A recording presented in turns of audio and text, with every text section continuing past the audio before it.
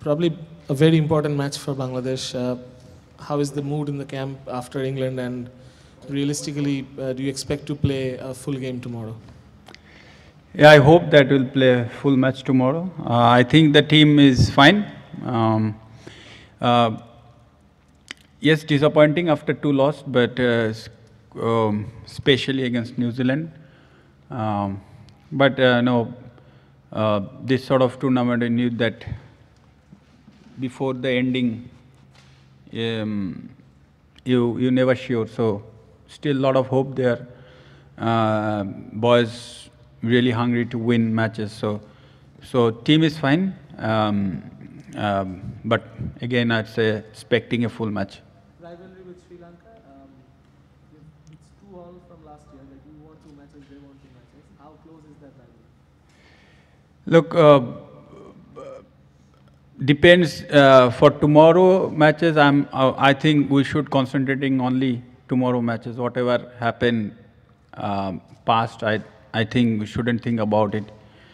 Like as I said that um, England, even England matches, same question was asking that we beat twice there, and uh, what's gonna happen? We lost badly, so so nothing, nothing gonna work that way. We have to, we have to play and play hard and try at our best to win match, and and we have to make sure that we we're doing all everything right.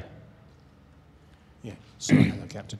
Do you think the way your side played against South Africa and the way it's played in the other games this tournament, do you think your team is now being treated with more respect by the rest of the cricket world? Depends. Um, I think uh, if you if you are asking me to answer, I'm not worried about who is respecting us or not. I'm more worried about our performance and um, make sure we're winning these matches. That is more important for us. Um respect uh, is depends. Uh, respect is very man to man, but um, I don't think so. Respect's gonna work in the into the 22 years. It's all all depends that how we react on the ground and I have played and if we can manage to win two points is is more important than respect at the moment. And can I just ask, is everybody in your squad fit? Uh, look, from the Ireland was niggles going on, few niggles, but it's still we, we managed to play. So um, I know international cricket, some niggles will be there, and and players are trying at their best. So so I'm not complaining at the moment. Yes, few guys is going around, but hopefully they'll be fine. Thank you. Um, last time, last occasion, uh, Bangladesh first time they reached the quarterfinals of the World Cup, and uh, most of the players who were there are with you, you know, in- today in this co- World Cup as well. I mean, uh, how what was your sort of goal that you have set yourself uh, in this in this particular World Cup to achieve? No, obviously, if you're asking all 10 captains this question, they will look through into the semis, which is uh, honest call, I think. And, um, it's, and also, it's not easy. It's not easy. Those are playing, they knew that it's not easy, especially in this, that condition. From Asia, maybe India is different, but others team will be, will be have to play there at their best. So it's not going to be easy, but obviously we'll have to see ourselves in the semis. But again, the calculation is right now is lot, lot difficult. If we could manage to win one of those matches from uh, New Zealand or mm, England, it could have been a lot easier. But at the moment, it's very uh, looks to very difficult. But again, I'd say it's possible. It's very much possible. Uh, we have to make sure that we have to come back into the winning track, and and and then have a look what happened next. Uh, Mashrafi, uh, this is the game probably Bangladesh will start favorite and the expectation is huge in Bangladesh about this game. Do you feel uh, any kind of pressure uh, before this game because it's a kind of must-win game for Bangladesh? Now, look, uh, what I am thinking that even even New Zealand match, even England match, people, I'm I'm not sure that what people was thinking. We are expecting to win, uh, especially New Zealand match. We thought that we we could win because against South Africa, when we thought our our um, concentration level, our uh, confidence level was so high that we can beat New Zealand, but suddenly we couldn't. So um, uh, uh, I think uh, pressure will be there every matches. Uh, even Sri Lanka next match, all the matches pressure will come. So I think it's possible. Pressure will be there. I'm, I'm, I don't want to say that there is no pressure. 100% pressure will be there. But uh, at the same time, I'd say that we have to cope up those pressure and make sure we are delivered. Few, few things can happen, go away from us, but we have to make sure end of the day um, uh, we are in the winning side. That's what we have to, from the fast ball, we have to target on. Shafi at the back here. Uh, can you just talk a bit about your own role uh, in the team? In the games where you can't finish your, your overs, your spell, um, I mean, do you think the pressure kind of transfers to the other bowlers uh, when you don't finish your spell? And I mean, how, how do they deal with that then? Uh, things that uh, there is so many times I, I didn't finish my overs in in last four five years I'm captaincy. It's it's all about that who is doing well at, at the at the middle in the right time. Last two matches Mossadegh, first two matches Mossadegh was doing uh, the decent job for the team. That was that was the main, main focus. And um, next la- last match I was doing my job. So that's depend who is who is doing well at uh, in that particular time. That is the main point behind. Captain আসলে প্রত্যেকটা ম্যাচই তো জেতার জন্য মানুষ নিশ্চয়ই মাঠে নামে কিন্তু এবারের সমীকরণটা একটু ভিন্ন জিততে হবে এরকম একটা বিষয় আছে কিছুক্ষণ আগেও বলেছেন বাংলার জন্য বলছি জেতাটা আসলে কতটুকু জরুরি দলের জন্য কতটুকু ক্ষুধা কাজ করছে আর একাদশে গত তিনটা ম্যাচে আপনি একই একাদশ নিয়ে মাঠে নেমেছে। এই ম্যাচে কোনো পরিবর্তন আপনি জরুরি মনে করছেন কিনা? না, একাদশের পরিবর্তনটা তো শুধু আমি একা বললে হবে না, একাদশের পরিবর্তনটা টিম ম্যানেজমেন্ট সবাই আছে, সবাই একটা আলোচনার ব্যাপার আছে, সব, প্রত্যেক ম্যাচেই বলেছি। আর একাদশ পরিবর্তন সবসময় টিমের জন্য ভালো কিছু হয় না, যখন নেসেসারি হয় তখনটাই প্রয়োজন। আর টিমের যদি প্রয়োজন হয়, অবশ্যই আলোচনা করে তারপরে চিন্তা করা হবে, কালকে কি হবে। আর জেতার কথা যেটা বললেন, এটা অবশ্যই আগের দুই ম্যাচেও ছিল, একই হোপ পারিনি নেক্সট ম্যাচেও একই হোপ থাকবে। যেটা আগেও বললাম যে, আপনি, আমরা প্রেডিক্ট করতে পারব না যে আমরা জিতবই বাট আমরা আমাদের সেরা খেলাটা খেলার চেষ্টা করতে পারি, যেটা করলে হয়তো বা আমরা যদি সেরাটা খেলতে পারি হয়তো পসিবিলিটি থাকবে। মাসাই ভাই যেটা হচ্ছে কালকে তো শুনেছেন যে বৃষ্টির সম্ভাবনা অনেক বেশি, ম্যাচটা হয়তো নাও গড়াতে পারে। এখানে পাকিস্তান, শ্রীলঙ্কা ম্যাচটাও হয়নি। আসলে ম্যাচটা কতটুকু আপনারা চাচ্ছেন যে মাঠে গড়াক এবং উইকেট কন্ডিশন বিবেচনায় সাব্বির বা রুবেলকে আপনারা মানে প্রয়োজন অনুভব করছেন কিনা? প্রথমত হচ্ছে যে ম্যাচটা না হলে আমাদের জন্য অনেক কঠিন ইকুয়েশনটা কঠিন হবে। ম্যাচটা অবশ্যই হওয়া খুবই প্রয়োজন। আগেও বলেছি যে আগের দুইটার একটা জিতে থাকলে হয়তো বা এত বেশি প্রয়োজন হতো না হলেও হতে পারতো। কিন্তু এখন খুবই প্রয়োজন ম্যাচটা হওয়ার সো আমরা অবশ্যই চাচ্ছি ম্যাচটা যেন হয়।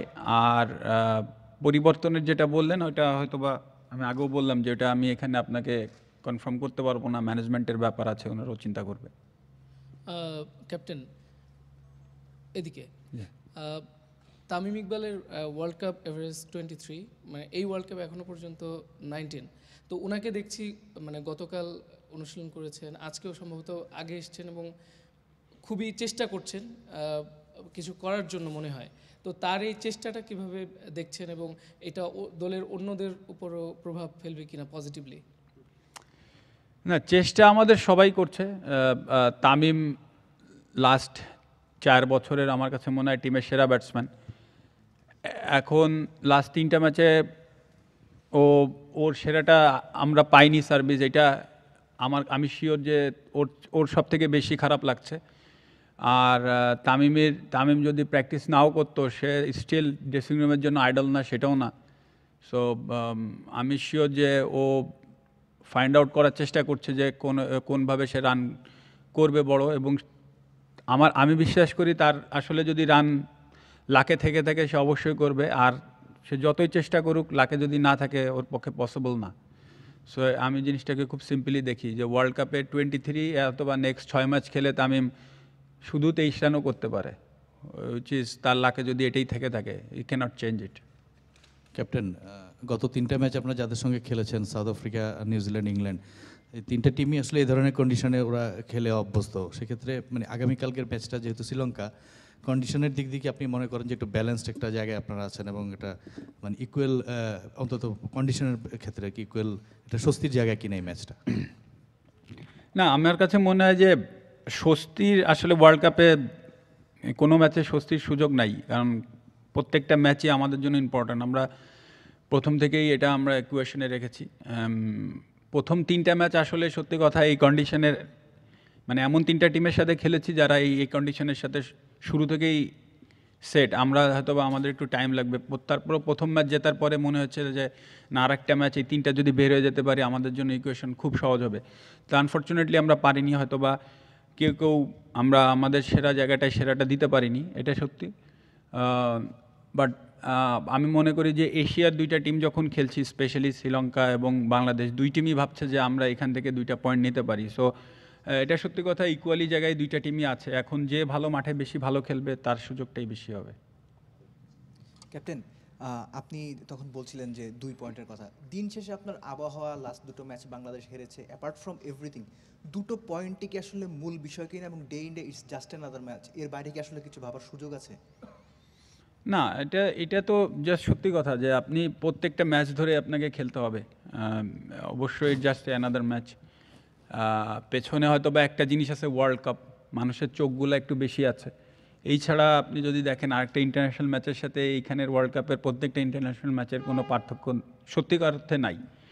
তো এখানে এই আপনাকে প্রত্যেকটা ম্যাচকেই ফোকাস করে করে নামতে হবে, আপনার অফ ডে যাবেই, ভালো দিন, খারাপ দিন ক্রিকেটে সব জায়গায় আছে। সো সেটাকেও কাউন্ট করতে হয়। সো সব কিছু মিলে আমার কাছে মনে হয় যে লাস্ট দুইটা ম্যাচ যেটা গিয়েছে আমাদের অফ ডে ছিল। হয়তো বা কিছু জিনিস আমাদের ফরে আসলে ম্যাচটা আমরা আরও ক্লোজ করতে পারতাম।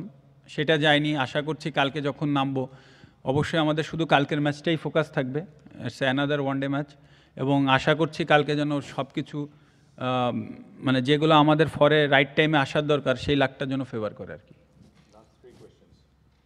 ক্যাপ্টেন সিনিয়র ক্রিকেটারদের মধ্যে অনেকেই খুব ভালো পারফরমেন্স করতে পারছে না এবং দলের টপ অর্ডারও ব্যাটিংটা নিয়ে একটু ঢুকছে। সাকিব ছাড়া যদি আমরা দেখি সবাই কনসিস্টেন্ট না, এই তাদের কাছে আপনার এই ম্যাচে চাওয়াটা কি থাকছে?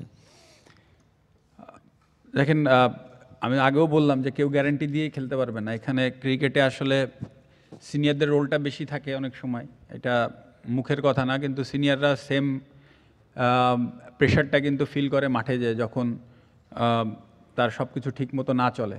সো আবার দেখা গেল যে এখন সৌম্যর কথা বলেন, সৌম্য কয়দিন আগে যে চাপে ছিল, ওইখান থেকে এখনও বল স্ট্রাইক করছে এত সুন্দর। সো ইটস অল অ্যাবাউট যে আপনার মাঠে সব কিছু ঠিকঠাক মতো চলতে থাকা। সো সেটা না গেলে হয় কি সবার জন্যই অফ ডে আসে।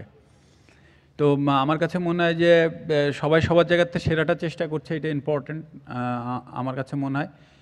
আর প্রথম ম্যাচে যদি আপনি দেখেন যে এখানে সিনিয়ররা পারফর্ম করেছে, এটা ঠিক অথবা সাকিব আর মুশফিক রান করেছে, এটা ঠিক, কিন্তু জুনিয়ররাও কিন্তু কম রোল প্লে করেনি। সো যেহেতু এগারো জনের খেলা, এখানে সবারই দায়িত্ব আছে। সাথে সিনিয়ররা যারা আছে তারা তাদের কন্ট্রিবিউশন জাস্ট আগে যেটা ছিল ওটা যদি করতে পারে অ্যাড করতে পারে, তাহলে এইসব ম্যাচগুলো সহজে জেতা সম্ভব। ক্যাপ্টেন প্রশ্নটা ইংরেজিতে করা হলো আপনাকে একবার আপনার বোলিং বা পারফরমেন্সটা নিয়ে প্রশ্ন প্রশ্নটা শুধু বাইরেও অনেকে কম বেশি করতে যাচ্ছে। আঠারো বছরের কেরিয়ারে একদম এন্ডিং পার্টে এসে যখন এই ধরনের প্রশ্ন শুনতে হয় তো এটা কতটা আপনার দুঃখ লাগে বা হতাশ লাগে যে এখনও যদি আপনার পারফরমেন্স নিয়ে মানুষের ডাউট থাকে? না হতাশ একেবারেই না। এটা আপনি যখন প্রফেশনাল লাইফ থাকবেন আপনি যখন সেরাটা দিতে পারবেন না আপনাকে এই ধরনের প্রশ্ন করা হবে এটা খুবই সহজ ব্যাপার এবং সেটা অ্যাকসেপ্টও করতে হবে। আমি এক্স্যাক্টলি বলতে পারব না পয়েন্ট আউট করে যে কারা বলছে বা কি, আমি এটা জানি না। তবে আমার কাছে মনে হয় ফার্স্ট দুই ম্যাচে আমি আগেও বলেছি যে উইকেটের যে হ্যাবিট ছিল, যে অবস্থা ছিল, আপনি দেখবেন যে ম্যাক্সিমাম ম্যাচেই ছয়, সাড়ে ছয়, সাত করেও পেস বোলাররা যাচ্ছে। ওইখানে আমাদের যদি কোনো স্পিনাররা ভালো রোল প্লে করছে বলে তাদের করতে হচ্ছে। যেটা আমি ইংরেজিতে উত্তর দিলাম, একই জিনিস বলছি। লাস্ট ম্যাচে আমাকে প্রয়োজন ছিল, আমি দশ ওভার করেছি এবং মেবি আট, নয় নম্বর ওভার পর্যন্ত আমার সব কিছু ঠিকঠাকই চলেছে। সো ওইটাই বললাম যে খারাপ সময়, ভালো সময় দুইটার পার্থক্য দিন শেষে এক একজন এক এক রকমভাবে এক্সপ্রেস করে। আর আলটিমেটলি আমি এক্সপেক্ট করি আমার কাছ থেকে আরও বেশি, এটাও সত্যি কথা। আমি আমার থেকে আরও বেশি এক্সপেক্ট করি এবং ম্যাচ জেতার পেছনে ভূমিকা রাখতে পছন্দ করি, সেটা যখন না হয় অবশ্যই আমি নিজেই নিজেকে প্রশ্ন করি সো মানুষ কি বলল ওটার থেকে ইম্পর্ট্যান্ট হচ্ছে আমি নিজেকে, নিজে কি ফিল করছি? সেরাটা না দিতে পারলে মানুষ কথা বলার থেকে আমার নিজের কাছে বেশি খারাপ লাগবে, এটি আর আমার কাছে আরও বেশি ভাই আচ্ছা ইংল্যান্ডের ইংল্যান্ডের ম্যাচের আগে বলেছেন যে ডিফেন্সটাই বেস্ট অফেন্স হতে পারে। তো কালকে আমরা একটু লোয়ার র্যাঙ্ক টিমের সাথে খেলছি আমাদের থেকে। তো আর ম্যাচটা ছোটও হতে পারে বৃষ্টির কারণে। তো এখানে কি অফেন্স অফেন্স অফেন্সের আরও সুযোগ বেশি? আর মাসের ভাই, আরেকটা হলো যে রিয়াদ রিয়াদ ভাই একটু স্লো স্টার্ট হচ্ছিল লাস্ট দুইটাতে। তো এটা একটু একটু কনসার্নিং নাকি? এটা কি পরিবর্তনের দরকার আছে নাকি আমি স্টিল সব কিছু আসলে সত্যিকার অর্থে পজিটিভ হিসেবে দেখতে যাচ্ছি। আমার কাছে মনে হয় সবাই মেন্টালি ঠিক আছে। স্রেফ বাইরের আলোচনাগুলো হয়তো বা সবাই একরকম না।